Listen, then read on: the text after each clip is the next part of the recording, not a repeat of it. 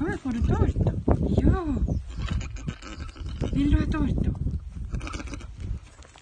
Gratulerar på fødelsedagen. Oi, Amuki.